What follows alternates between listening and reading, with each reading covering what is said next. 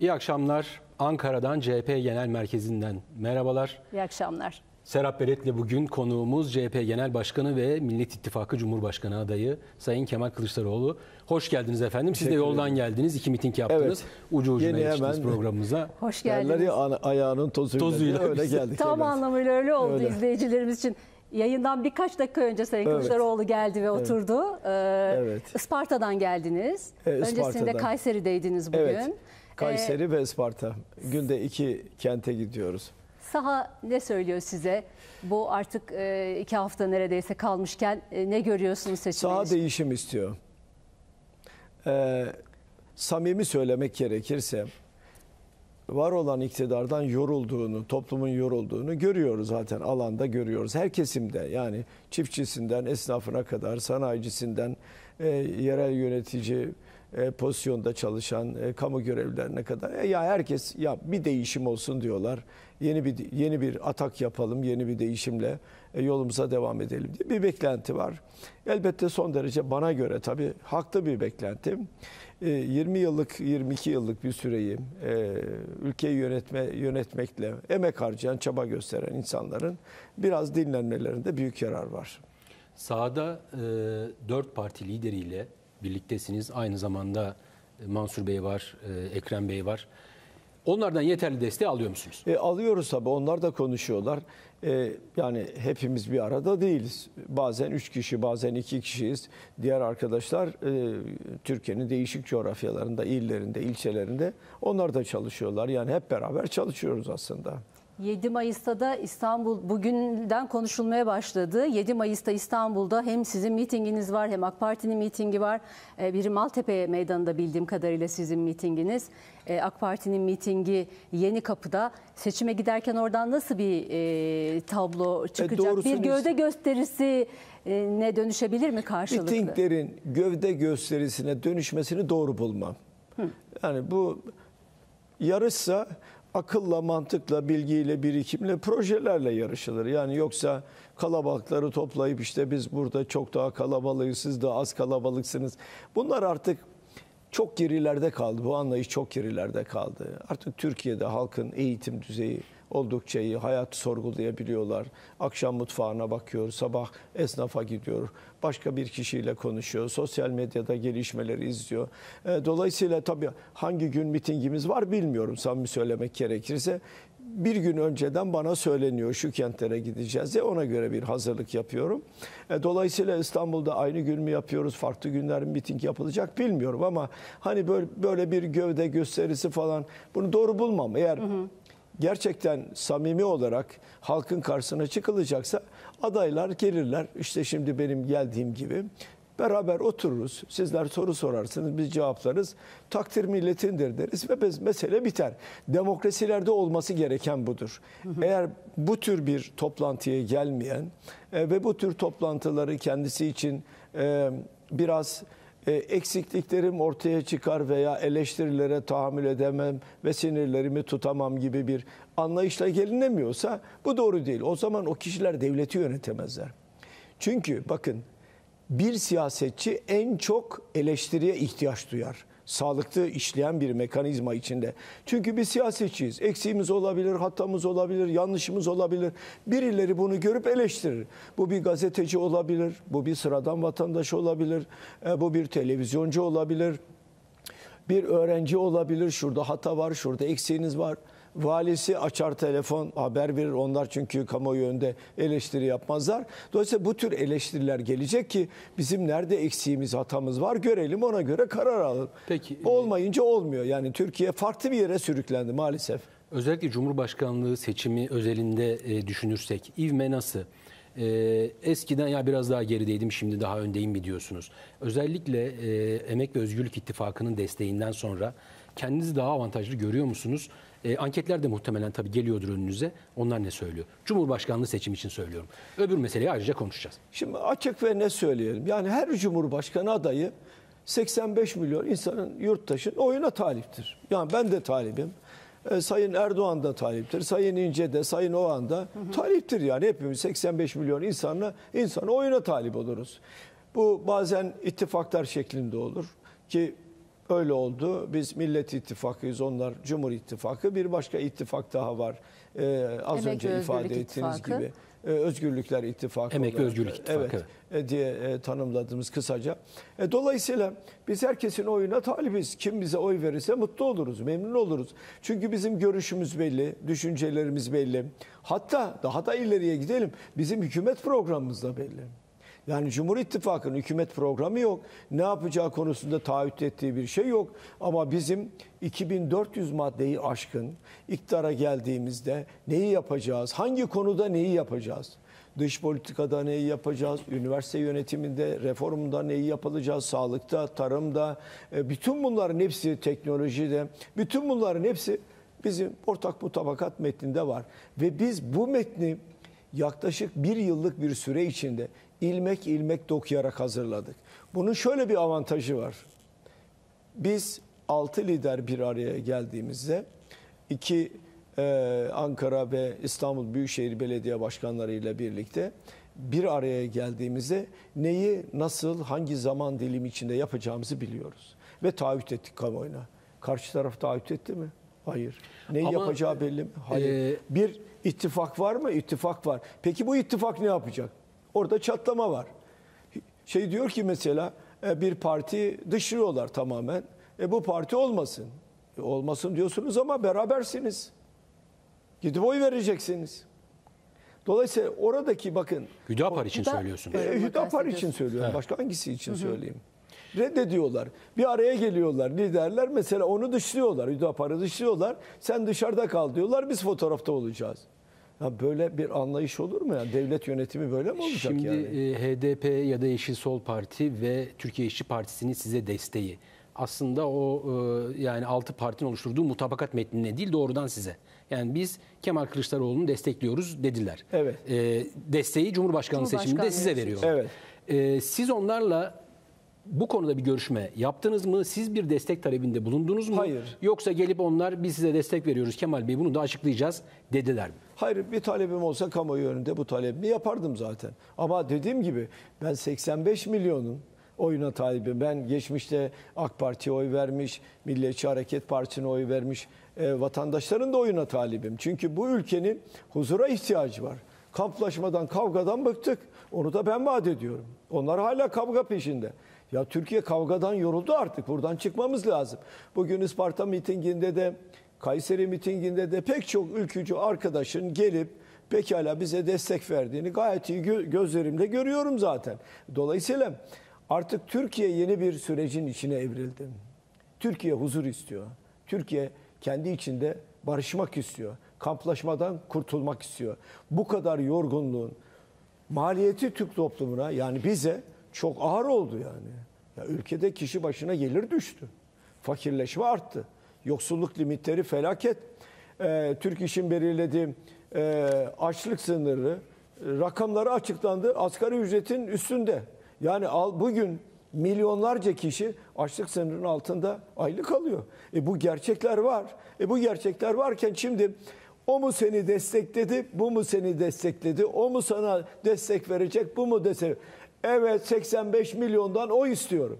Sandığa giden her yurttaştan o istiyorum. Sen Türkiye'de huzur istiyorsan, bereket istiyorsan, insanlar huzur içinde yaşasın istiyorsan, siyasal partiler, siyasal partiler akılcı politikalarla yarışmak istiyorlarsa bize oy vereceksiniz. Bu, kadar açık. Bu e, e, yani HDP'nin size verdiği destek zaten masa kurulurken de bu konu siyasetin gündemindeydi. Ardından destek şu anda miting alanlarında iktidarın en çok üzerinde durduğu argüman. Ve e, hatta bugün de yine e, Cumhurbaşkanı Erdoğan dedi ki HDP ile kapalı kapılar ardında ne görüştünüz diye e, size sordu. Ne görüştüler diye sordu. Milli İstihbarat HDP ile seçim Teşkilatı- sonrasına ilişkin bir görüşmeniz oldu mu? Efendim Milli İstihbarat Teşkilatı onun emrinde zaten. Bizim ne görüştüğümüz varsa, öyle gizli kapaklı bir görüşmemiz varsa çıksın açıklasın. Öyle değil mi? Biz bakın devleti yöneten kişi bir sorumluluk üstlenir. Ben o sorumluluğu üstleniyorum. Ve diyorum ki ben eğer görüştüysem evet açık ve net derim ki evet bunlarla oturduk ittifak konusunda anlaştık, görüştük. E yok öyle bir şey. Yani bir pazarlık vesaire bir şey Hayır yapmadık efendim biz ne diyorsunuz. pazarlığı. Ne, şimdi bakın bir şey daha söyleyeyim.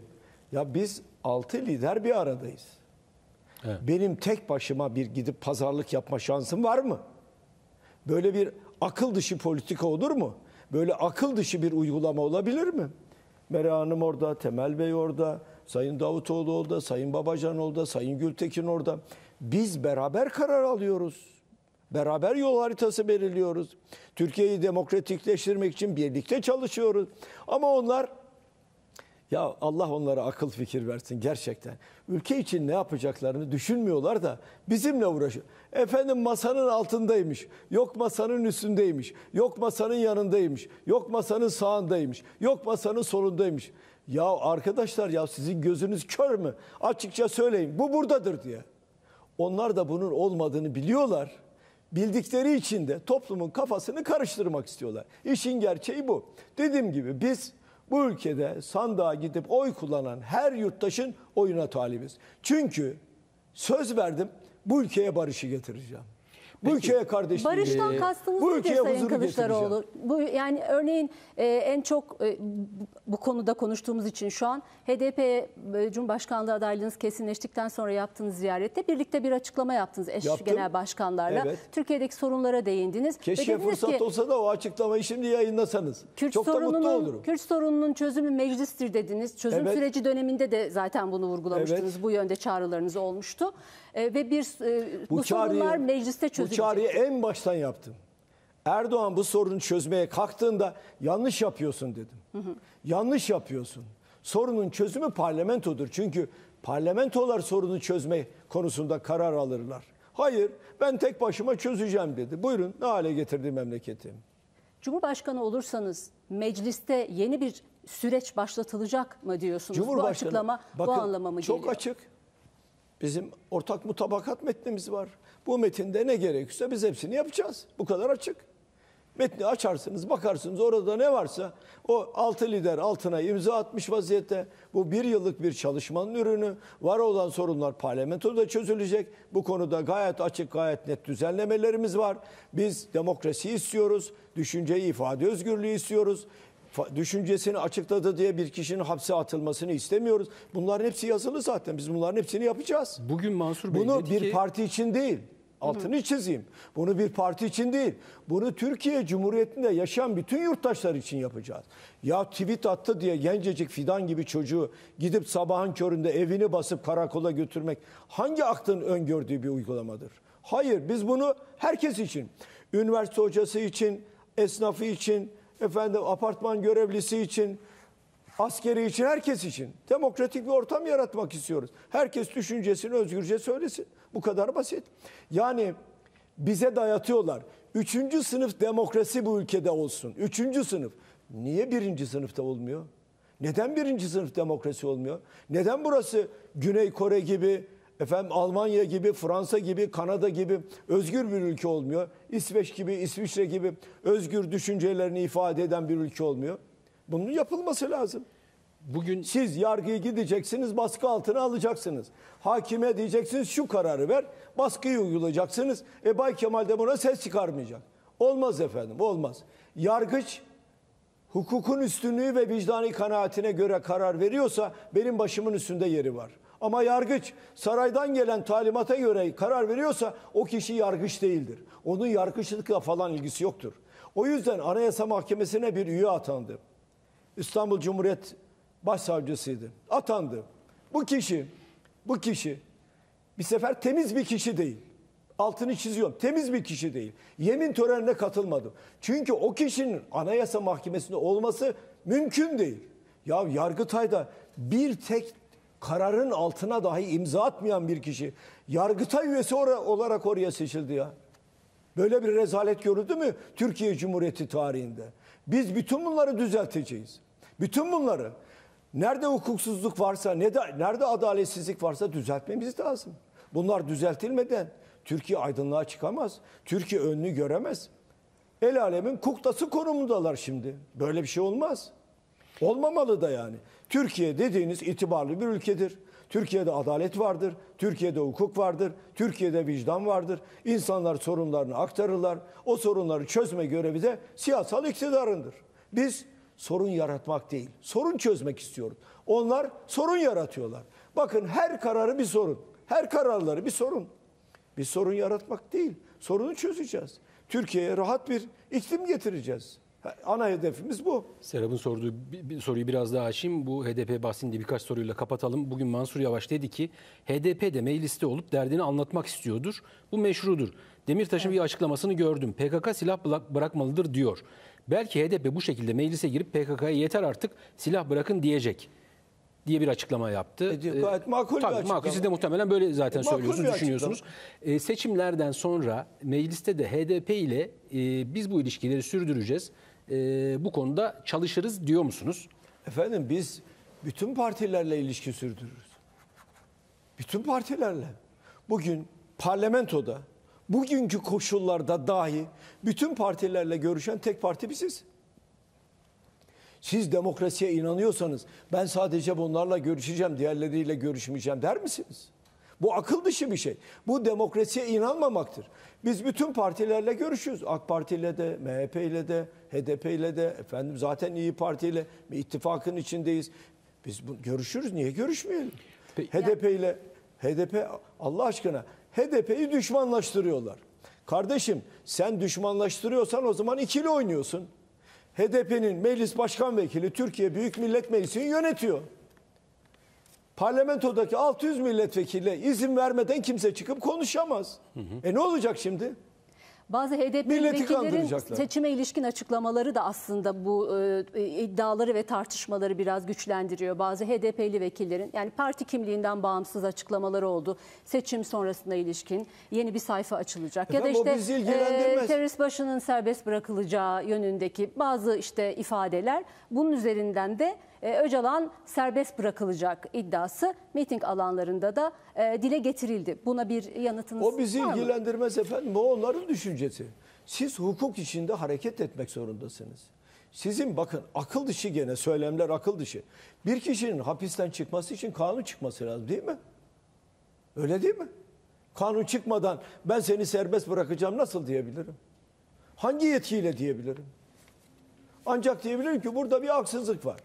Bu haksızlığın giderilmesi lazım derim. Eğer varsa bir yerde bir haksızlık söylerim. Bu haksızlığa kim muhatap olmuşsa siyasi görüşüne bakmaksızın. Haksızlığa kim muhatap olmuşsa evet burada bir yanlışlık var derim. Burada bir hata var derim. Bu hatanın giderilmesi lazım derim. Diyorum da zaten bunları. Yeni demiyorum ki. Gezi olaylarında içeride olanlar ne günah var Allah aşkına bunların ya. Adam yurt dışından geldi buraya yargılanıyorum diye eline kelepçe içeriye attılar. Osman Kavala neden? Selahattin Demirtaş neden? Bütün bunları soruyoruz. Terör. Hayır efendim hiçbirisi terörden ötürü mahkum olmadı ya. Yalan söylüyorlar millete. Bakın siyaset kurumu halka doğruları söylemek zorundadır. Yalan söylediğiniz andan itibaren siz itibarınızı, güveninizi kaybedersiniz. Benim de arzum o. Halka doğruları söyleyeceksiniz. Bu kadar basit. Bir insanı sevmeyebilirsiniz. Eleştirebilirsiniz de. Eleştiri hakkınız da var. Buna hiç kimse bir şey demez. Niye eleştirdiniz diye ben kalkıp birisine bir şey söyler mi? Hayır. Beni eleştirebilir. Haksızsa bu haksızdır derim.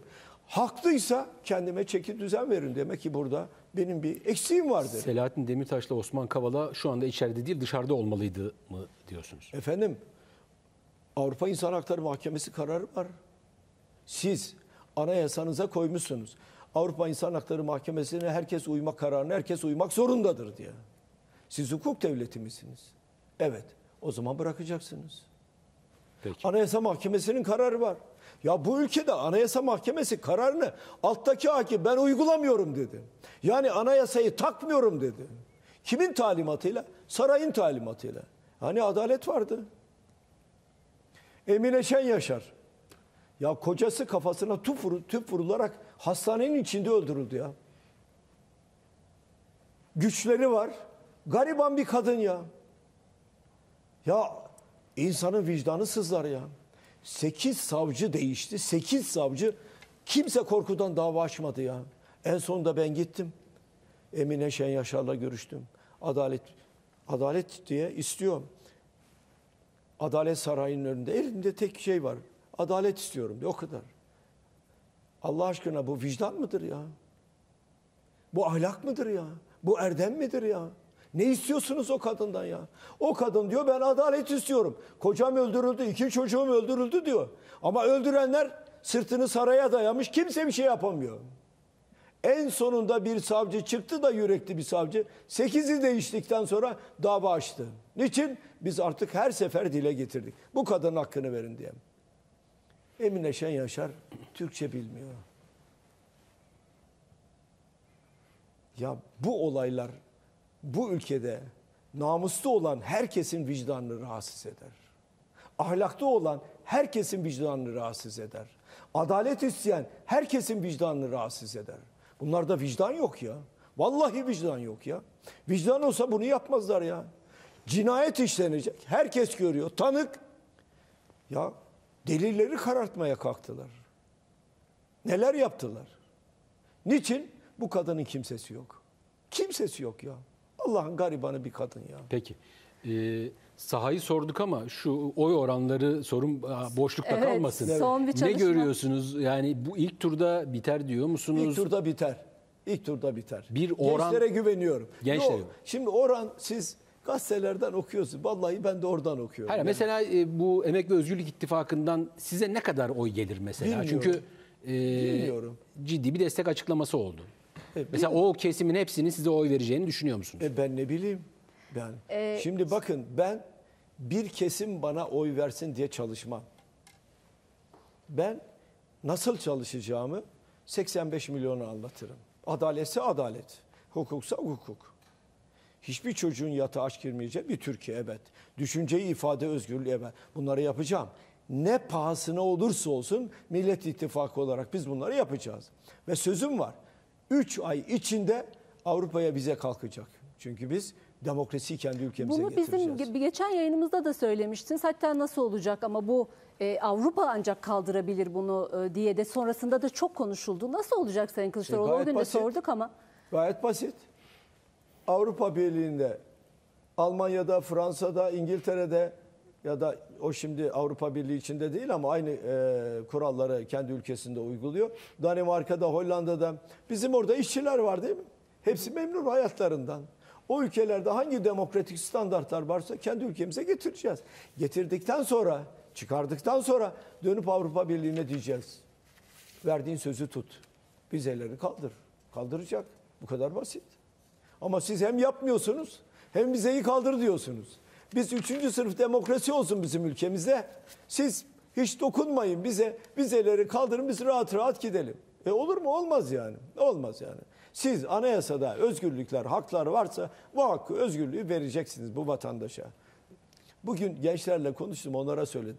Ya mutlaka dedim sizin anneleriniz babalarınız diyorlar ki aman sakın ha oğlum kızım bir tweet atma başının belaya girerdi. Evet bakın ya odada bile konuşurken insanlar sessiz konuşuyorlar.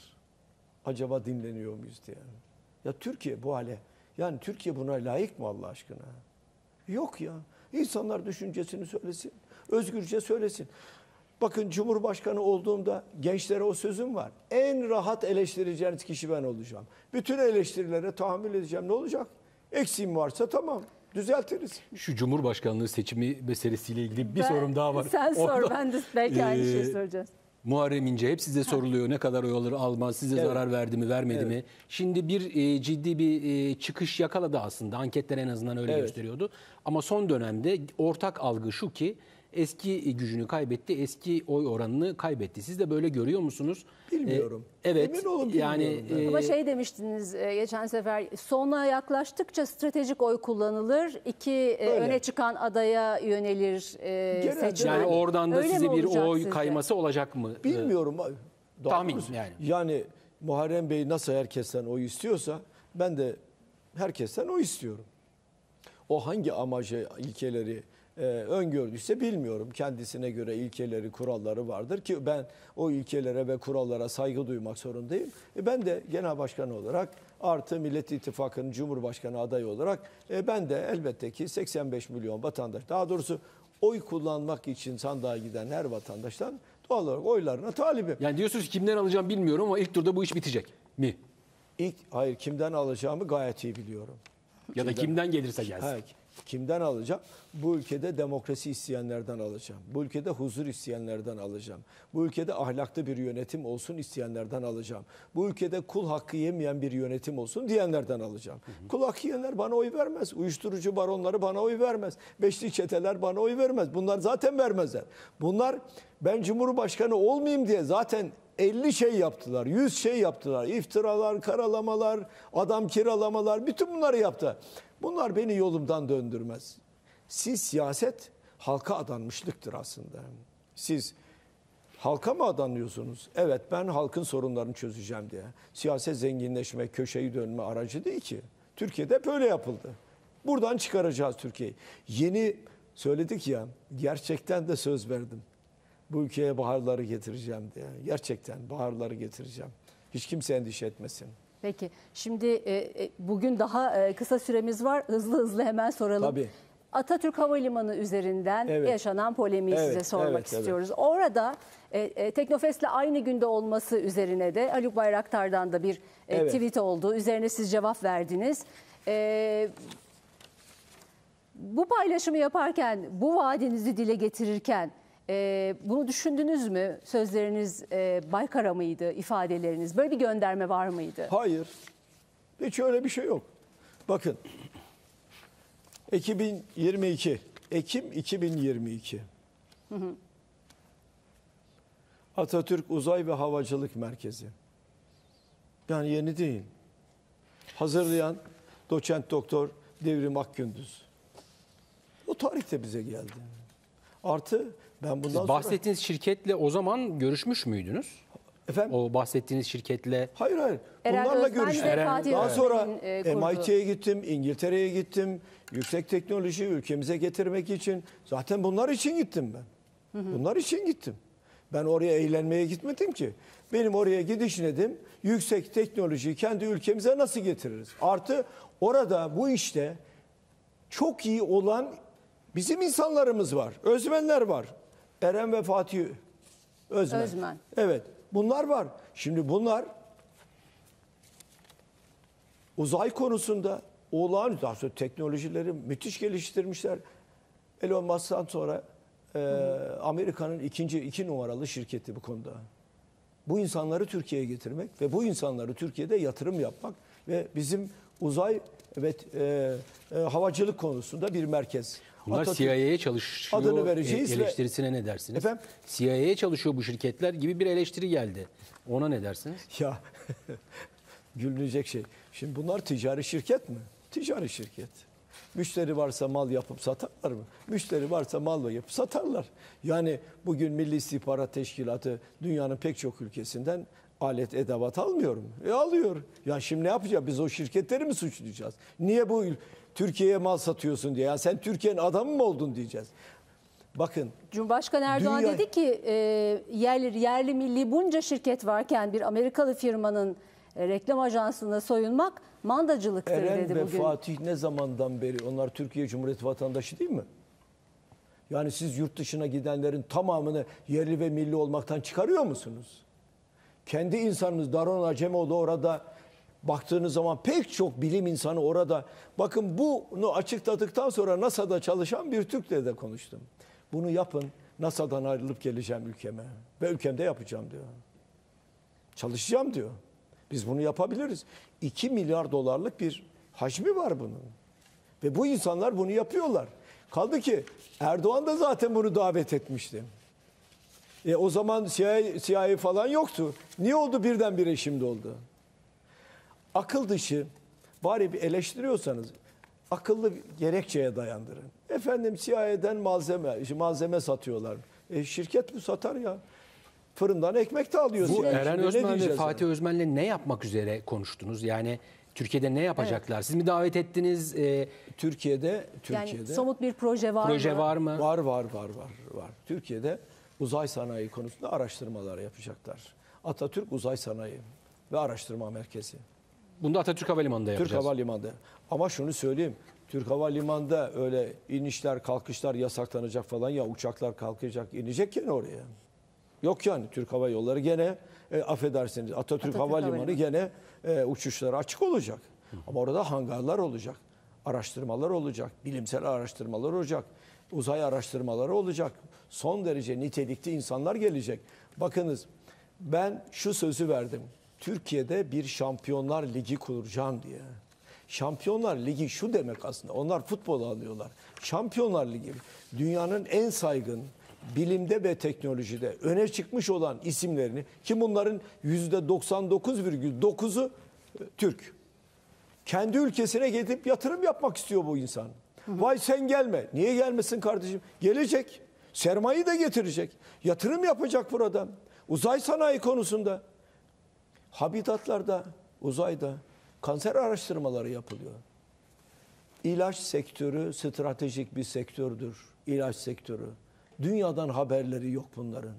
Canan Dağ deviren kanser araştırmaları konusunda bizim Türkiye Cumhuriyeti Devleti'nin iftihar etmesi gereken bir isimdir bu isim. Ve bu isimle ben gidip konuştum. Neleri bulduğunu, nasıl bulduğunu anlattı. MIT'de buna özel bir bölüm ayrılmış. Ya bunların dünyadan haberi yok. Bunlar bir insanı karalamak için yola çıkar. Vay efendim ne Amerika'dan geliyor. O zaman bu Amerikancı. Tam bir akıl tutulması. Tam tam bir akıl tutulması yani. Bizim şimdi oraya gidip çalışan şimdi biz Almanya'da çalışanlara da bunlar Almancı mı diyeceğiz? Çalışıyorlar, üretiyorlar. Kendi ülkelerine gelip yatırım da yapıyorlar. Dediğim gibi şimdi panik içinde ne yapacaklarını bilmiyorlar. Neyi hedeflediklerini de bilmiyorlar. Uzay araştırmaları konusunda Türkiye'de yetkin isimler de var. Az önce söyledim. Devrim Akgündüz. Bugün yapılan çalışmaları yeterince desteklemediğiniz eleştirisi getirdi Haluk Bayraktar. Örneğin Kızıl Elma konusunda bir destek, bir tebrik mesajı duymadık. E, SİHA'lara katil dendiğinde bir destek mesajı duymadık. E, bize bu açıktan dile getirilmiyor diye. Bu, bu yoruma bir cevabınız olur mu bu E, değerlendirme? beni dinlememişler demek ki. Beni dinleselerdi ben e, kardeşlerin yani Bayraktarların e, Türkiye için ne kadar önemli şeyler yaptığını anlattım. Beni dinlemeleri lazımdı. İki Telli'de fabrikası varken iki Telli'de ziyarete giden babası Allah rahmet eylesin hayattaydı. Ziyarete gittim. Bana dertlerini anlattılar, sıkıntılarını anlattılar. E, videolar gösterdiler. Sabah kahvaltısı yaptık. Çok güzel ve nitelikli bir ekibi vardı. O ekibi başında geliştirdikleri uçak modelinin önünde fotoğraflar çektirdik. Fotoğrafları paylaşmıyorum. Neden biliyor musun? Aileden izin almadığım için. Yani Mesela bu şunu- kadar da bu kadar da aileyi düşündüğüm için acaba başlarını belaya sokar mıyız diye ve biraz da e, haber vermedik. Şimdi ben asla ve asla onlar da benim söylediğim Şampiyonlar Ligi'nin bir parçası olacaklardır. Bayraklar da olacaktır. Siz uçak geliştirdiğinizde biz niye karşı çıkalım ya? Akıl tutulması böyle. Yani biz şey. onları dışlamıyoruz. Onları da bu ligin Hayır içerisine efendim, e, onlara- alacağız ama genişleteceğiz bu ligi Efendim diyorsunuz. onlara her türlü desteği vereceğiz Peki olur mu? şöyle bir bekle- Şimdi şöyle mesela bir endişe var. Pardon. Şöyle bir endişe var. Şimdi bütün bu gelişmeleri parti devleti süreci içinde yaptılar. Parti devletin. Parti aynı zamanda devlet. Acaba Kılıçdaroğlu gelirse aynı mantıkta gider mi? Hayır efendim. Parti ayrı, devlet ayrıdır. Devlete kim hizmet ediyorsa, kim üretiyorsa başımızın üstünde yeri var ya. Parti ayrı. Bugün var parti. Yarın oy almasınız. Ayrılır bir köşede durursunuz parlamentoda. Yani Baykar'ın da başımız üstünde yeri var. Zaten bu kadar hizmet yapıyor diyorsun. Elbette, elbette efendim ya niye karşı çıkalım? Yani akıl tutulması bir şey. Samsun'da Teknofest yapıldı. Ben de gittim. Pırıl pırıl evlatlarımız, pırıl pırıl gençlerimiz. AK Partililer de tanık oldular. Orada yanlış hatırlamıyorsam bir bakan da vardı. Bütün gençler geldi benimle fotoğraflar çektirdi. Onlar da şaşırdı. Bu gençler sizi seviyor. Niye sevmesin efendim? Onlar da şunu Fotoğraflar söylüyor. çektirdiler. Yani bazı CHP'li vekiller bizim hakkımızda bir sürü şey söylüyor. Kemal Bey hala onların önünü açıyor. Dün bizim yayınımızda söyledi Evet. Haluk Bayraktar. Yani e, Kemal Bey belki kendisi böyle düşünmüyor ama CHP'den pek çok isim bizi suçlayıcı hayır. bir girişim içerisinde diye bakıyorlar. Kim bilmiyorum. Bana söylesin değil mi? Bir telefon kadar yakınım. Diyecek ki sizin şu milletvekiliniz bizim aleyhimize Sezgin konuşuyor. Tanrıkulu'ndan Konu söyledi. bahsettiler onun e, e, ifadeleri üzerine. Bakın kim bu ülkede taş taş üstüne koyuyorsa ben onun siyasi görüşüne bakmam. O ayrı bir şey. Bu insanlar siyaset için yapmıyorlar bunu. Bir şeyler yapmak istiyorlar. Üretiyorlar da. Ben gittiğimde keşke Bayraktar beni Teknofest'te karşılasaydı ben haber verdim gelmek istiyorum diye. Ama çekindi.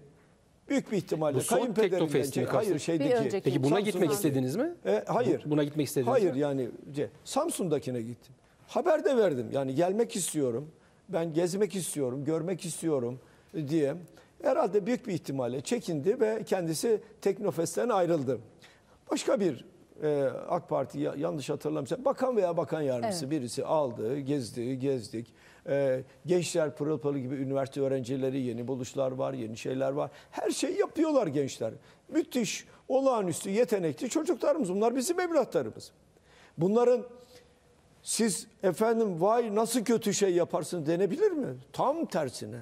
Tam tersine ufuklarını açmamız lazım. Tam tersine destek vermemiz lazım.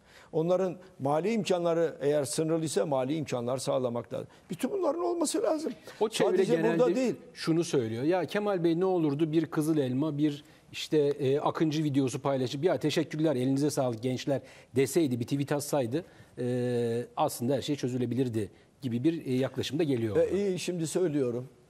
Mutlu olsunlar. Bizim öyle bir şeyimiz yok yani. Kızıl elma mı yaparsın, başka bir şey mi yaparsın bilmiyorum. Ben hani savunma sanayi konusunda e, uzman birisi değilim.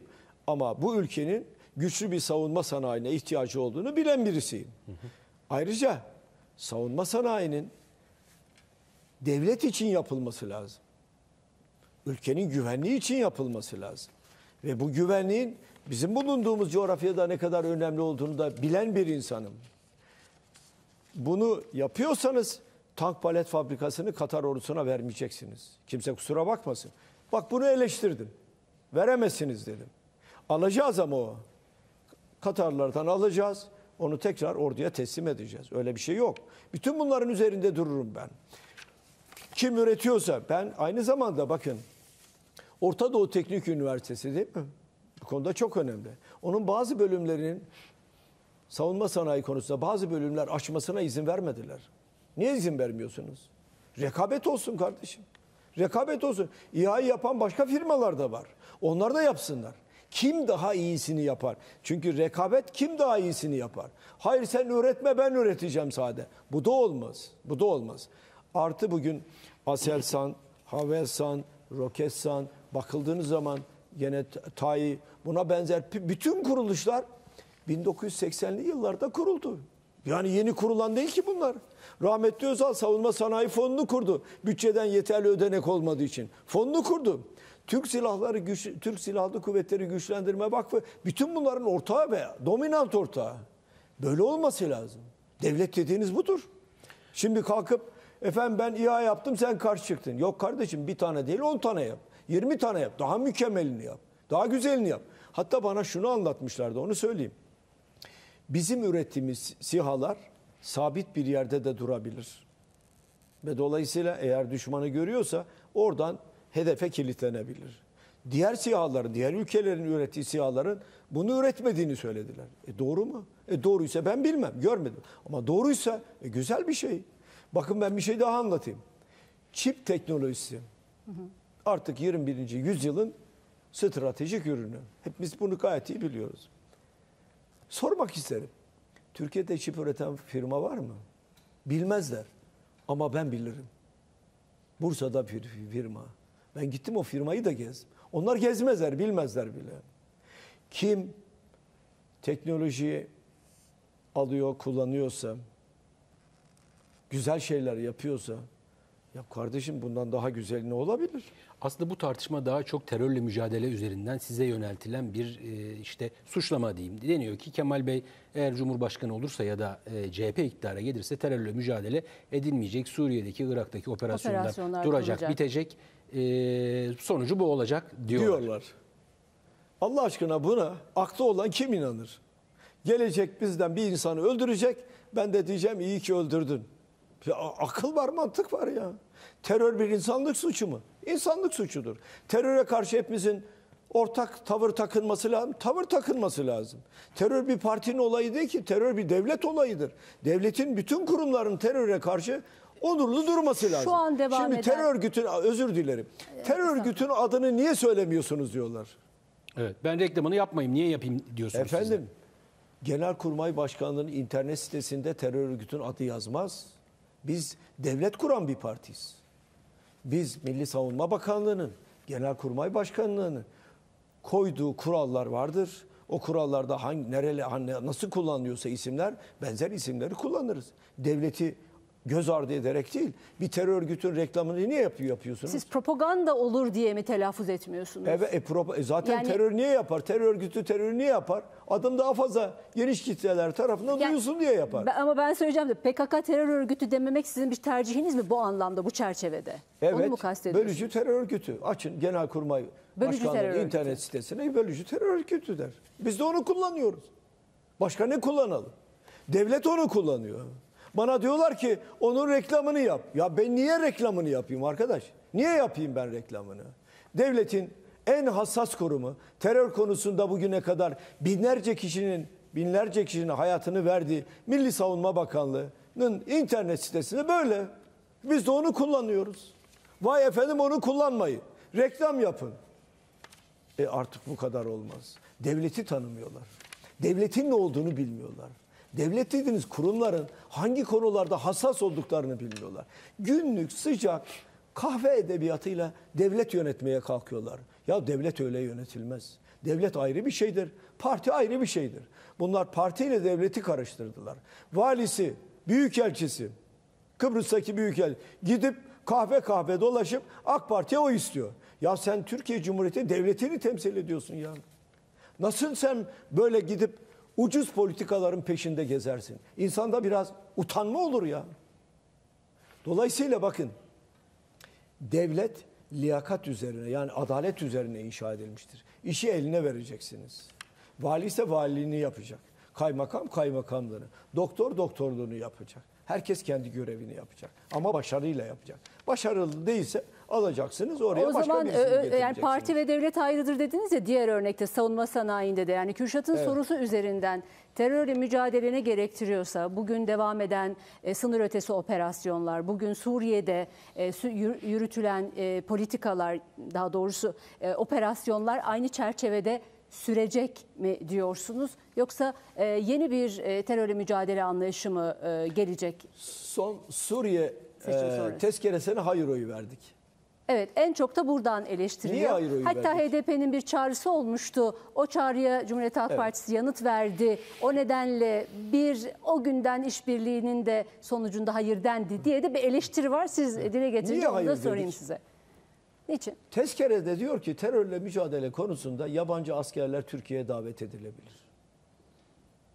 Niye AK Partililere bunu söylemiyorlar? Ya Türkiye Cumhuriyeti Devleti askeriyle, polisiyle, jandarmasıyla 30-35 yıldır terörle mücadele ediyor. Yabancı asker mi davet etti?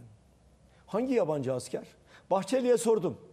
Hangi yabancı askeri terörle mücadele konusunda Türkiye'ye davet edeceksiniz? Erdoğan'a sordum. Hangi yabancı askeri terörle mücadele etsin diye hangi yabancı orduyu Türkiye'ye davet edeceksiniz? Milli Savunma Bakanı'na sordum şimdi milletvekili adayı. Siz hangi yabancı askeri Türkiye'ye davet edeceksiniz? İşgal kuvvetlerinin gelip de Türkiye'de terörle mücadele edeceğine biz inanıyor muyuz? Biz Kuvayi Milliyeciyiz. Kimse kusura bakmasın. Bunu niye gizliyorlar? Niye söylemiyorlar? Bunun adı vatanseverlik mi? Ben kendi toprağıma, ülkeme yabancı bir asker postanın dokunmasını istemem. Ama onlar istiyorlar. Ve meclisten tezkere geçirdiler. Ya insanda biraz ar edep olur Ama ya. bunun için kullanılmadı ki hiç. Efendim? Tezkere hiç bunun için kullanılmadı ki. Tamamen dışarıda yapılacak operasyonlar için kullanıldı. Yarın kullanılırsa ne olur?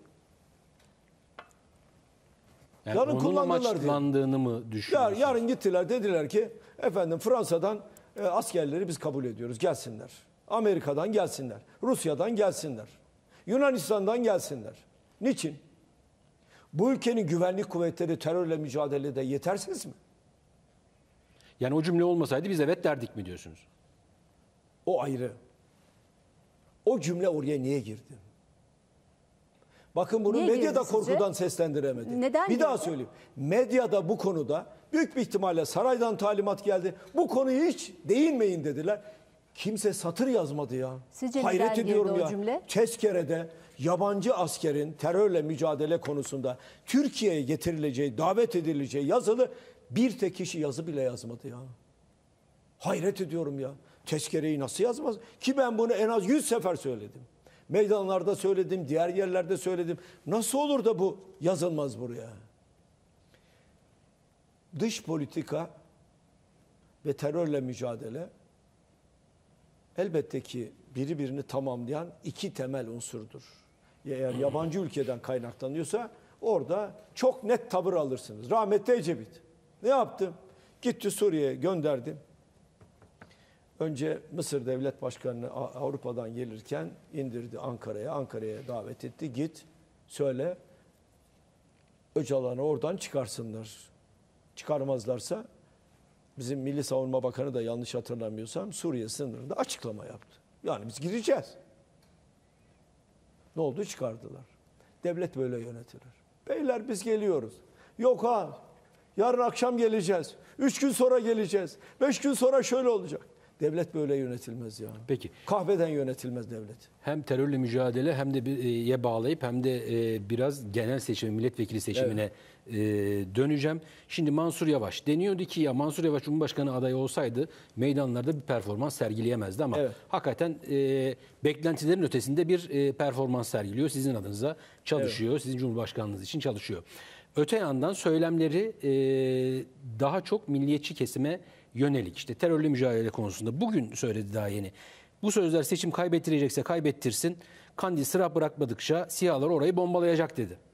Başka cümleleri de var. Ee, yani e, bayrağı sıkıntılı gören tipler şu anda işte AK Parti listelerinden aday oldu. Kandili başlarına yıkarız Kandili başlarınıza yakı- başlarına yakacağız. İki kırmızı çizgimiz var. Biri bayrak, bir bayrak, iki vatan vesaire vesaire. Güzel. Ee, ama Mansur Bey dışında çok fazla hani siz de tabii söylüyorsunuz ama çok fazla bu cümleleri duymuyoruz. Acaba işin bu kısmı Mansur Bey'e mi bırakıldı? Hayır. Ben meydanlarda söylüyorum. Bizim Yok, siz iki de söylüyorsunuz. Bizim Yani onu iki kırmızı çizgimiz var diyorum. Bayrağımız ve vatanımız. Daha ne söyleyeyim? Peki aynı soruları Erdoğan'a neydi onlar? Hüdapar için sorabilir misiniz? Yani görürsek sorarız. E sorun. Konu kalırsak. Konu kalırsak Veya sorarız. onlardan birisi katıldığında sorabilir misiniz? Yo soruyoruz. Yani Hüdapar'ı neyse biz soruyoruz. soruyoruz. Be- Türk bayrağı olmasın, Türkiye bayrağı bayrağı olsun dedi. Onu benim yayınımda söyledi zaten Evet. Hüdapar Başkanı. Niçin o zaman ona bir tepki gösterilmiyor? Bahçeli niye bir tepki göstermiyor? Hani Bahçeli milliyetçiydi. Ben bayrağımı ezdirmem demesi lazımdı. Niye demiyor? Niye sesini çıkarmıyor? Üç kağıtçı siyasetçi olmaz. Siyasetçi namuslu adam olur. Duruşu bellidir, tavrı bellidir, ilkeleri bellidir, kuralları bellidir. Esen rüzgara göre gidip dönmez, gidip gelmez. Bu böyledir. Benim anlayışım böyledir. Çok açık, çok net söylerim. Çok açık, çok. Düşüncelerim budur. Katılır veya katılmaz. Ama liderler toplanıyor. Hüdapar'ın genel başkanı orada yok. Niye yok orada? Utanıyor musunuz siz Hüdapar'ın genel başkanını kendi yanınıza almaktan? Utanıyor musunuz? Utanıyorsanız niye listeye koyuyorsunuz? Alıyorsanız evet ben ortağım tokalaşıyorum ve alıyorum dersiniz. Beraber izlersiniz. Filyos'ta vardı sanırım yanlış mı hatırlıyorum? Filyos'ta Sarayda vardı. yoktu. Baş- Ha orada yoktu evet ama E, yoktu. açılışlarda oluyor. Niye olmuyor? Niye orada değildi? Devleti yönetemiyorlar. Artık bitmişler yani. Yani Resmi ittifak ortağı olmadığı Hüdapar'ı Cumhur. İttifakı'na katarak yanlış yaptılar mı? Ben ona girmem. Ben o karışmam benim ona. konum değil. Benim konum değil. Yeri geli ben Hüdapar'ı nasıl eleştiriyor? Erdoğan'ı nasıl yani AK Parti'yi nasıl eleştiriyorsam Hüdapar'ı da eleştiririm. MHP'yi de eleştiririm. Bu ayrı bir şey. Ama düne kadar 50 şey söyleyen, Gaffar Okan'ın katillerini bir anlamda kendi bünyesinde tutan bir yapıyla siz nasıl yan yana geliyorsunuz? Sabah, öğle, akşam. Şimdi bize diyorlardı ya HDP masanın neresinde? Altında mı, üstünde mi? E, Hüdapar neresinde? Yanında, fotoğrafında. E ne oluyor? Ne oluyor Allah aşkına? Niye konuşmuyorlar? Niye Hüdapar'ı övmüyorlar? Aynı şekilde Sadat. Ya Sadat çıktı. Erdoğan hayret ediyorum bunlar nasıl devleti yönetiyor. Sadat diye birisini getiriyor bir kurum başındaki adamı getiriyor oraya. Diyor ki biz Türkiye Cumhuriyeti Devleti'ni kaldıracağız. Türkçeyi bitireceğiz. Bayrağını sileceğiz. Efendim e, Afrika diye bir devlet kuracağız. Resmi dili Arapça olacak. Ve bu Erdoğan'ın baş danışmanı. MİT müsteşarının yanında oturuyor. Bu mudur devlet yönetimi ya? Devlet bunlara kaldıysa işte bugünkü tablo çıkıyor ortaya. Bir reklamdan sonra devam edelim mi? Hay Reklam hay. vermemiz gerekiyor. Bir reklam arası. Evet.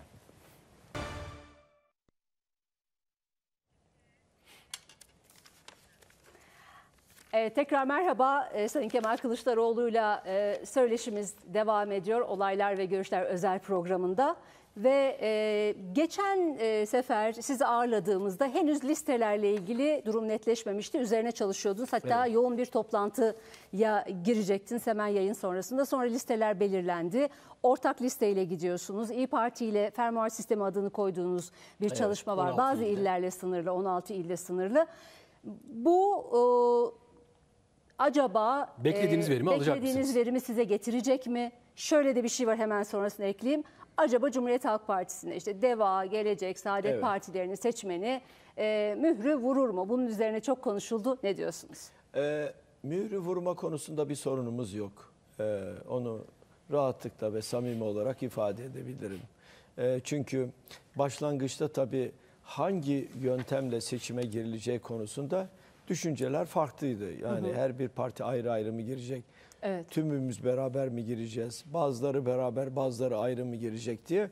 Dolayısıyla bizim karar veremediğimiz bir e, süreçte doğal olarak yerelde, il, ilçe bazında onlar da karar veremiyorlardı ve bekliyorlardı. Şimdi o kararlar alındı, durum netleşti, aday belirlendi, hangi partilerin müşterek, hangi partilerin ayrı veya belli yerlerde müşterek e, girme konusunda pozisyonda netleşti. Dolayısıyla herhangi bir sorunumuz görünmüyor. Beklentiniz nedir sizce? Mecliste edinebileceğiniz sandalye ile ilgili. Yani şöyle simülasyonlar Şöyle yapılıyor. söyleyeyim. Deniyor ki e, mesela 20-25 artı vekil çıkacak bu dört partinin sizin listenizle girmesiyle. Evet. Ama İyi Parti'de ile birlikte ortak listeyle girilseydi bir 20-25 daha alınacaktı gibi bir e, işte O söyleniyor. Ee, gerçekten yazılıyor, çiziliyor, söyleniyor ama bilmiyoruz tabii. Yani sonuçta e, ben o işin uzmanı değilim. E, tabii e, belki tümümüz beraber tek bir listeyle girseydik daha farklı mı, daha fazla mı çıkarırdık, daha az mı çıkarırdık? Bu işin uzmanları oturup ona karar veriyorlar. Ama şu anda alınmış kararlar var ve onlar e, Yasa yapacak çoğunluğu 300 vekili sağlayabilecek misiniz? E, Sağlarız, sağlarız. Millet Sağlarız. İttifakı olarak. Evet, sağlarız. Sağlarız. 300'ü geçeriz diyorsunuz yani. Ee, geçmemiz lazım. Yani alana baktığımız zaman e, onu görüyoruz zaten. Vatandaşlardan hissediyoruz, görüyoruz onu. Peki 360 o biraz Ee, 360 konusu şöyle ifade, tabi anayasa değişikliği Evet, için evet. diyorsunuz. Ben e, demokratik sisteme, e, güçlendirilmiş parlamenter sisteme geçtiğimiz e, aşamada AK Parti'nin de e, oy vereceğini düşünüyorum. AK Parti'nin de AK Partili vekillerin de oy vereceğini düşünüyorsunuz. Evet, Ha, evet. Onların da parlamenter sistemi savunacağını isteyeceğini düşünüyorsunuz. Evet, düşünecekler. Çünkü muhalefete düştüklerinde siyaset yapamadıklarını görecekler parlamentoda. Yani Cumhurbaşkanlığı sistemini AK Partililer mi yok edecek, isteyecekler bunu? Ya diyecekler ki ya gerek yok. Yeniden demokratik güçlendirilmiş parlamenter sistem gelsin. E, darbe hukukundan sistem tümüyle arınsın. E, dolayısıyla bizim ülkemizde birinci sınıf demokrasi olsun. Güçler ayrılığı ilkesi olsun. Onlar da isteyeceklerdir yani. Şimdi ben diyelim ki yetkiyi aldınız Erdoğan gibi davranıp da şu iki kişiyi yakalayın hemen hapse atın. Şunu yakalayın hapse atın. E, olur mu? Olmaz. O zaman onlardan bir farkımız kalmaz. Farkımız ne? Biz demokrasiyi ve özgürlükleri savunuyoruz. Bizi istedikleri gibi eleştirebilirler. E, do- Dolayısıyla parlamentoda siyaset yapmış olurlar. E, Onların da önü açılmış Önünü olacak. açacak bir sistemi zaten biz savunuyoruz. E zaten Dolayısıyla biz onu- onlar da evet. destekçi. Peki Serap biraz değindi ama bu muhafazakar seçmenin e, CHP fobisi var mı hala? Çünkü e, Ali Babacan'ı e, Fatih Bey yayına aldığında dedi ki e, yani CHP'nin vakti zamanında dindar kesme yaptıkları yaşı ileri kesimde hala olumsuz bir hafıza taşıyor. Dedi E, aynı şekilde Ahmet Davutoğlu Kübra'nın yayınında e, 90 yaşında halam var bizim Ahmet'e nasıl oy vereceğiz bilmiyoruz yani sizin logonuz altında olduğu için e, dedi. E, Ahmet Bey'in halasına söyleyeceğiniz bir şey var mı? Tabii. Ee, önce şunu söyleyeyim. Şimdi Cumhuriyet Halk Partisi'nin belli kesimlerde e, çok katılaşmış bir şeyi vardı. Algısı vardı. Kabul edelim bunu. Ee, farklı gerekçeler e, öne sürülüyordu. O farklı gerekçeler hafızalarda yer etmiş ve kolay kolay silinmiyordu. Ee, belki bizim izlediğimiz politikaların yanlışlığından kaynaklanabilir veya kendimizi yeteri kadar anlatamamaktan da kaynaklanabilir veya o kesime yeteri kadar ulaşıp kendimizi e, anlatma gibi bir e, görevi üstlenme gibi bir pozisyondan da kaynaklanabilir. Şimdi önce ben e, Sayın Davutoğlu'nun halasının e, ellerinden öperim onu söyleyeyim. E, e, ben ve partim herkesin inancına saygılıyız. İnanç siyaset konusu olmaz. Kimin inançlı olup olmadığını sadece yüce yaradan bilir. Peygamberlere bile bu yetki verilmemiştir. O nedenle birilerinin ortaya çıkıp insanları sen inançlısın, sen inançsızsın diye konuşmaları asla ve asla doğru değildir. Asla ve asla doğru değildir. Şimdi kimsenin kimliği de siyaset konusu olmamalı. Çünkü ben anne babamı seçim özgürlüğüne sahip değilim. Ama annemi seviyorum, babamı seviyorum, onlarla gurur duyuyorum. Dolayısıyla kimlik de siyasetin dışında Siz zaten kalmalı. bunların videolarını yayınladınız. Alevilik Evet, üzerine, evet. Kürtlük üzerine. Bunlar Kürtler da bu üzerine. sistemin dışında. Siyasetin konusu ben ülkeyi nasıl büyüteceğim? Ülkeyi nasıl geliştireceğim? Ülkeyi itibarlı bir ülke haline nasıl getireceğim? Siyasetin konusu budur. Dış politikada, iç politikada, tarımda milyonlarca insanın karnını nasıl doyuracağım? İhracatı nasıl yapacağım? Teknolojiyi, e, teknolojideki devrimi nasıl yakalayacağım? Bütün siyasetin konusunun normalde bunlar olması lazım. Öbür türlü siyaset, kimlik ve inanç üzerinden siyaset toplumu ayrıştırıyor, kutuplaştırıyor, sonra kavgalı hale Bu getiriyor. arada Ahmet Davutoğlu'nun halası da bir açıklama yaptı. Ahmet, e, Ahmet kime derse ben ona oy vereceğim, Sayın Kılıçdaroğlu'na oy vereceğim de dedi hani yeri Güzel, gelmişken. evet, evet. evet. düşelim. Yani ben şöyle az değil, ben e, pek çok kesimle, muhafazakar kesimle e, hemen hemen Türkiye'nin e, bütün illerinde bir araya geldim. Onlarla uzun uzun e, kapalı toplantılar yaptım, basına kapalı. Bu toplantıların süresi en az olanı üç buçuk saat. Bu toplantıya katılanların sayısı 25-30'u geçmez. Bazı yerlerde bir yanlış hatırlamıyorsam Şanlıurfa'da çok fazla oldu. Ama onun dışında 25-30'u geçmez. Ve hiçbirisi CHP'li değil ve CHP'ye oy vermemiş insanlar. CHP'yi bizim onlara anlatmamız lazım. Ve nedir bu CHP? Eski algılardan kurtarmamız lazım. Şöyle bir örnek anlatayım. Ee, İstanbul'da evlere Kur'an okumaya giden vaizelerle de bir araya geldik. Gene kapalı bir toplantı. Onlara şunu söylüyorum. Arzu ettiğiniz her soruyu, aklınıza takılan her soruyu, öğrenmek istediğiniz her soruyu rahatlıkla sorun. Ben üzülmem. Sizi de suçlamam ama bana net sorun, ben de net yanıtını vereyim diye. Bir vaize söz aldı işte yuvarlıyor ağzında bir şey söyleyecek ama ya acaba söyleyeyim mi söylemeyeyim mi ter, tervişte din, e, dindarlık vesaire e, cami dedim şunu mu demek istiyorsunuz? Ya biz CHP'ye oy vereceğiz ama bu CHP dinsiz parti. Vallahi onu söyleyecektim dedim. ben size bir soru sorabilir miyim dedim. Sorun dedim. Merkez Bankası'nın dini nedir dedim. Birden şaşırdı. Hadi onu bilemedin. Hazine ve Maliye Bakanlığı'nın dini nedir dedim. Din Allah'la kul arasındaki bir ilişkidir. Tüzel kişilerin dini olmaz. Merkez Bankası'nın dini mi olur? Olmaz. Cumhuriyet Halk Partisi, AK Parti her inançtan insan var bu partilerde. Dolayısıyla bu partilerin içindeki insanları tek bir kalıbın içine koyamazsınız.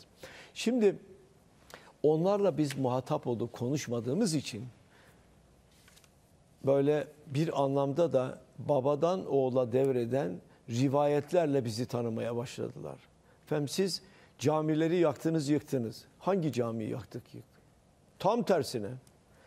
Hatta bunu Van'da birisi sordu. Size dedim Gazi Mustafa Kemal Atatürk'ün ya 21 ya 23 bütçe konuşmasını göndereceğim. Tutanaktan alacağım göndereceğim dedim. Gazi Mustafa Kemal bütçe görüşmesi de şöyle der. milli abidelerimiz, camilerimizin onarımı için şu kadar ödenek ayrılmıştır. 1940'lı yıllarda çıkan bir yürüyüş dergisi var. Orada da her bir caminin adı var. Karşısında bütçeden ayrılan ödenekler yazılmış o yıllar. Onları gönderdim kendisine. Biz böyleyiz. Bize Mustafa Kemal'den devreden iki düşünsel miras var. Bir, Genelkurmay Başkanlığı hakkında yani askerlerle ilgili konuşmayacaksınız.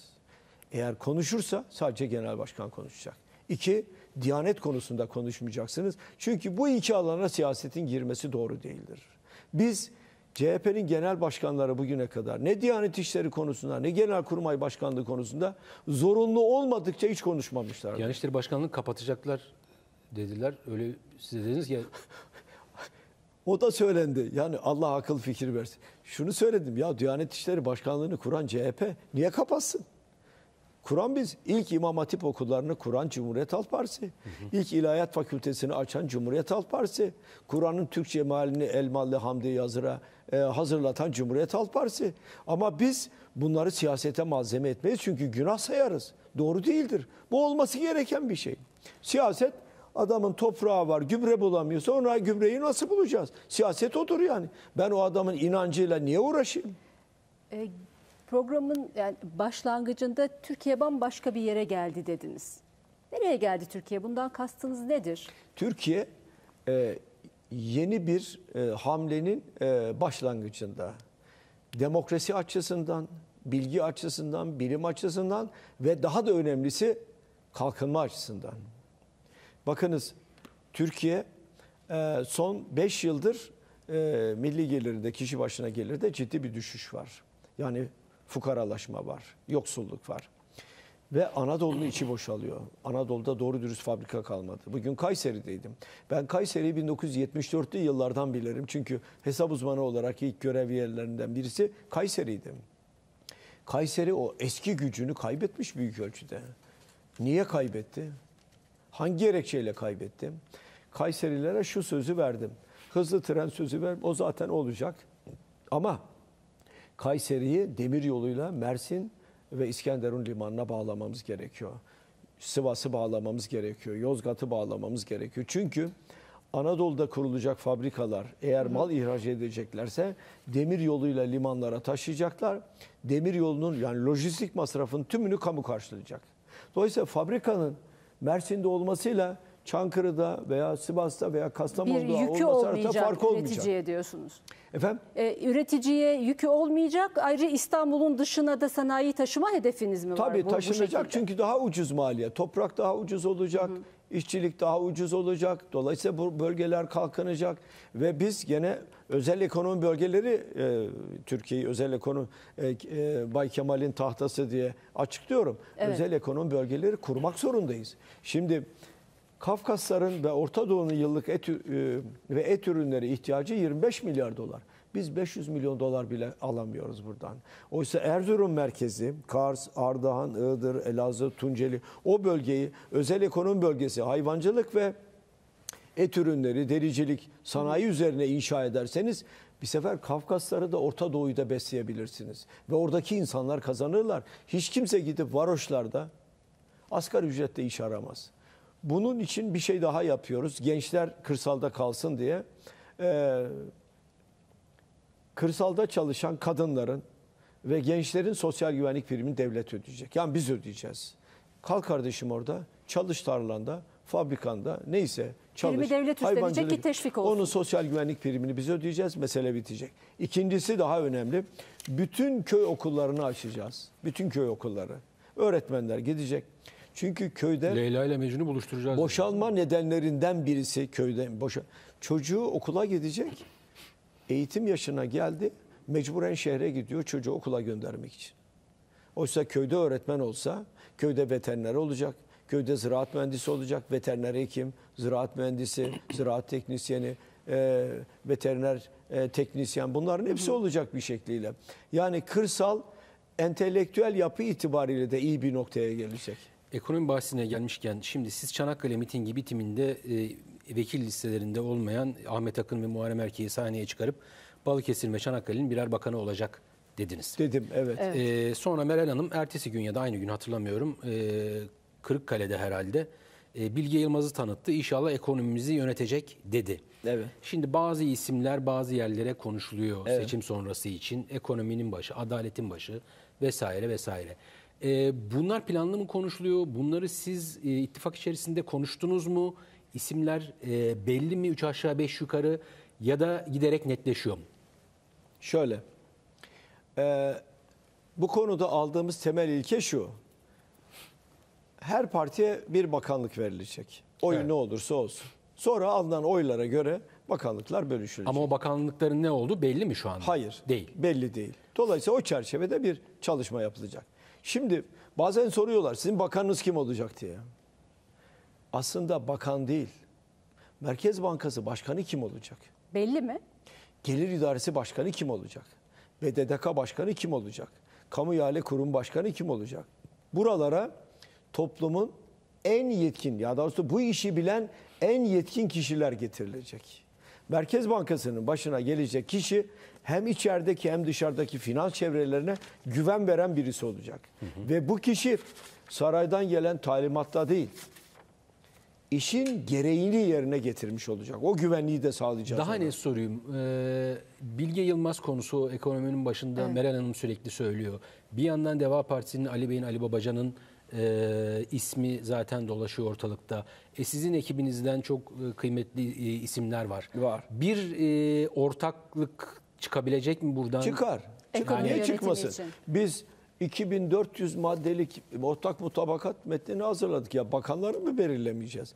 Bakanlıklar önemli değil dediğim gibi. Önemli olan bakanların altındaki liyakatli Çok kadrolar. merak ediliyor Bakın, tabii, ekonomi ben Maliye Bakanlığı yaparken özür dilerim. Ben Maliye Bakanlığı yaparken mesela bir mühendis e, çok saygıyla andığım Ahmet Kurçevi ve Alptem için Maliye Bakanı oldu. Maliye eğitimi almadı.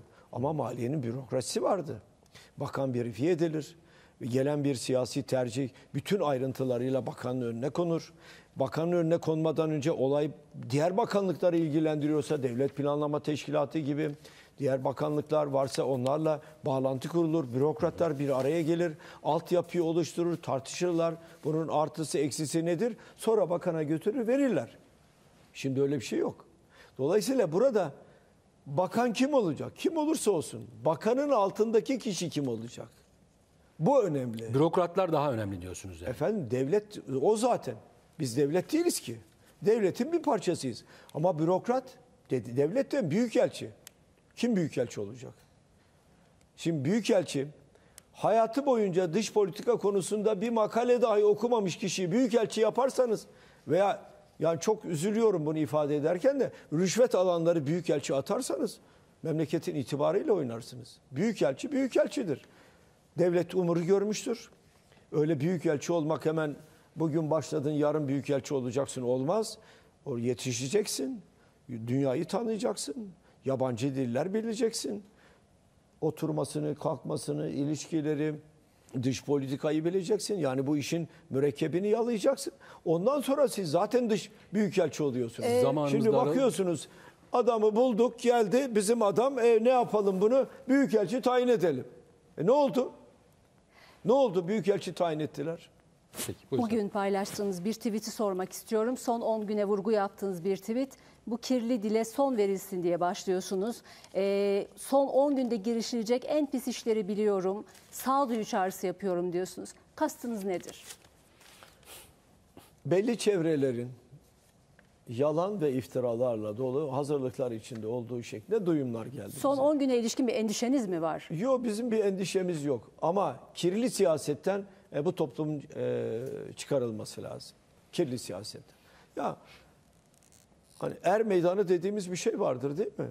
Yiğitler çıkarlar, Kırkpınar'a gidersiniz, güreşirler, hakem vardır, mesele biter.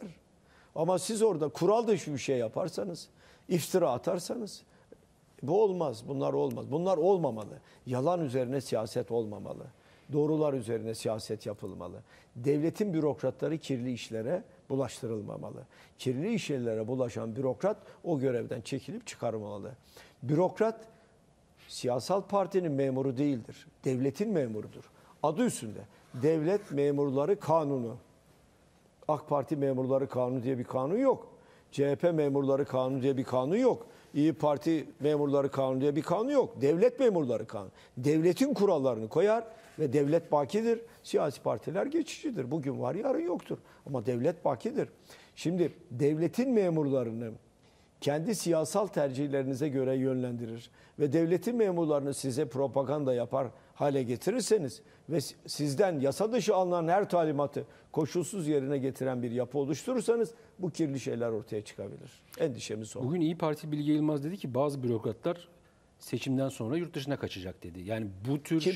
bazı bürokratlar seçimden sonra yurt dışına kaçacak böyle iddialar var dedi. Profesör Doktor Bilge Bilge Yılmaz, Yılmaz, İyi Parti'den. Partili. Şimdi- Ee, Kirliliğe bulaşan çok kişi var. Kabul etmek lazım. Görüyoruz biz bunların tanıyız, tanıyız da zaten. Bu e, ben şöyle devlet intikam duygusuyla yönetilmez. Birisi bir kişi ihbar etti işte bu şunu yaptı bunu yaptı dediği andan itibaren ona hemen intikam duygusu alacağım ben seni hemen cezalandır demek doğru değildir. O zaman bunlardan bir farkımız kalmaz. Varsa bir şey araştırırsınız, soruşturursunuz, rapora bağlarsınız. Devlette çok son derece düzgün çalışan bürokratlar var. Rapora bağlarsınız, savcılığa gönderirsiniz, savcı gereğini yapar. Yoksa ben alacağım, ben vuracağım, şunu yapacağım, bunu yapacağım. Bu devlet yönetiminde olmaz. Peki. Devlet adaletle yönetilmek zorundadır. bu 301 Buradan müttedeyin kardeşlerime de seslenmek isterim. Onlar bazen ya işte gelince acaba bizim bazı haklarımız var elimizden alınır mı? Hayır efendim. Haklar genişler, haklar kısıtlanmaz. Hakları kısıtladığınız andan itibaren demokrasiyi yok etmiş oluyorsunuz. Kişilerin hakları varsa o hakları genişletirsiniz. Her insan kendi hakkını kullanabilmeli. İnancı başımızın üstüne neye inanıyorsa bana ne onun inancından? O Allah'la kul arasındaki manevi bir bağdır. Beni ilgilendirmez. Kimlik bana ne onun kimliğinden? Ben onun çocuğu iyi eğitim alıyor mu? Hastaneye gittiği zaman doğru dürüst bakılıyor mu? İşi var mı? Gücü var mı? Evinde huzuru var mı? Elektriği, su parasını, doğalgaz parasını rahat ödüyor mu? Ödemiyor mu? Aldığı aylıkta geçiniyor mu? Geçinemiyor mu? Türkiye'nin kaynakları nereye gidiyor? Türkiye büyüyor mu? Bölgesinde güçleniyor mu? Türkiye dünyayla rekabet edebilecek bir pozisyona geldi mi? Siyasetin konusu bu. bu kimlik meselesini açmışken aslında 301 milyar dolar çok konuşuluyor. Nereden getireceksiniz? Kalem kalem belli mi diye soracaktım ama bu kimlik e, meselesini açmışken siz önce Kürtlerle alakalı sonra da Alevilikle alakalı kendinizle alakalı bir e, video e, yayınladınız. Bir kısım dedi ki ya kimlik siyaseti yapıyor Kemal Bey. Bir kısım da dedi ki ya bu işi artık sonuna kadar noktaladı. Artık iktidarın elindeki bütün argümanları doğru. aldı bu konuda. Bu doğru. Bu doğru Bu diyorsunuz. doğru. E, hangi- Kapalı kapılar ard- ardındaki böyle karalamalar doğru değil. Çıkıp açık yürekli ben böyleyim arkadaş ya. Temiz bir insanız yani. Samimi bir Müslümanım ben. Ka- Arka kapılarda böyle kalkıp Yok bana sorarsanız kimsenin bunu sorgulamaya hakkı yok Hakkı zaten. yok. Ayrı. E, yani, o efendim başka bir doğrusu mesele. odur da. Evet. Ama bunun yapılmadığını ben gayet iyi Bu biliyorum. açıklamayı yapmasanız sürer miydi bu E, sürüyordu imalar? zaten. Tabii, tabii, tabii, tabii. E, e, siz mütedeyyin ve Rahmetli babam derdi ki, oğlum sen doğru dur, eğri berasını bulur diye. Biz doğru durmaya devam ediyoruz. Son helalleşmenizi kendinizle yaptınız. E, e, ben öyle algıladım. Aynen, aynen, aynen, evet. e, siz TikTok'tan da gençlere e, seçim gecesi kazanırsak nasıl kutlayacağınıza karar verin diye bir paylaşım yaptınız. Geçen hafta da Adalet Bakanı Sayın Bozdağ'ın 15 Temmuz'la ilgili yorumu çok konuşuldu. Siz az önce CHP'ye bakışla ilgili bir öz eleştiri yaptınız Evet. ya o nedenle söylüyorum. Yani ya sabaha kadar e, şampanyayla kutlayanlar ya da e, al- a- e, temiz alnını şükür namazı için secdeye götürenler olacak 15 Mayıs'ta dedi. Buna bir değerlendirmeniz. Doğru bir şey söylememiş yani. Biz alnı secdeye dayana da saygı duyarız. Diyene de saygı duyarız. Gidip kilisede ibadet yapana da saygı duyarız. Havrada ibadet yapana da saygı duyarız. Cemevine gidip ibadet yapana da saygı duyarız. Ya benim o insanların inançlarıyla oynama hakkım var mı? E, Yok böyle bir şey. Dolayısıyla buradan Türkiye'nin çıkması lazım. Şarap içiyor, içki içiyorsa günah onun Allah'la kul arasındaki ilişkidir. Öyle değil mi? Yani ben ona ne diyebilirim? Niye içiyorsun? E, Eğer bir rahatsızlığı varsa zaten ertesi gün doktora gidecektir. Tedavi olacaktır yani. İnsanları, insanları ötekileş siyaset kurumu insanları ötekileştirmekten kurtarmak zorunda. İçkinin zararı var mı? Var. Sigaranın zararı var mı? Var. İnsan sağlığı için zararlı mı? Zararlı. Bunun kampanyasını açarsın. Bu konuda ta Cumhuriyet'ten bu yana gelen Yeşilay dediğimiz bir derneğimiz var. Kızılay gibi o da kuruldu. Onu harekete geçirirsiniz. Sigarayla, içkiyle bunun ne kadar zararlı olduğunu gençlere, çocuklara, yaşlara herkese anlatabilirsin. Devlet böyle bir politika güdebilir. Burada hiçbir şey yok. Ama içkiyle e, secdeyi, Allah'a ibadeti yan yana getirirseniz yanlış yapmış olursunuz. Yanlış. Yani içki içen dinsiz, imansız mı olacak? Yok öyle bir şey yani. Dediğim gibi bunlar siyasete girmemeli. Siyaset bu konulara girmemeli. Siyaset bakmalı ya. Niye bu insanlar soğan alamıyor? Değil mi? Siyasetin konusu. Ben 22 yıldır bu ülkeyi yönetiyorum. Vatandaş soğan al- alamaz hale geldi. Kendimi sorgulamalıyım. Ya niye böyle oldu diye. Asgari ücret açlık sınırının altında kaldı. Ya niye oldu bu böyle diye. Beşli çeteye hizmet edi- ediliyor. Bakın bir şey anlatayım. Gençler gelecekten umutsuz değil mi? Evet. Niye umutsuz? Şöyle. Şimdi benim kuşağım biz babamızdan daha iyi bir eğitim gördük. Annelerimizden daha iyi bir eğitim aldık. Onlardan daha iyi bir yaşam standardı sağladık. Bizim çocuklarımız bizden daha iyi bir eğitim aldılar ama bizim altımızda bir yaşam standardına mahkum edildiler. Bugün Türkiye'deki bir genç, üniversiteyi bitiren bir genç, hadi asgari ücretle bir iş buldu diyelim. Araba ömür boyu alamaz. Hele ev sahibi hiç olamaz. Ama diyor ki bu genç ben Fransa'ya, Almanya'ya, Hollanda'ya, Danimarka'ya, Kanada'ya gidersem asgari ücretle alsam bir süre sonra arabam bir süre sonra da evim olabilir diyor. Siz ömür boyu bunu umutsuzluğa mahkum ediyorsunuz. Bunun adı politika mı Allah aşkına?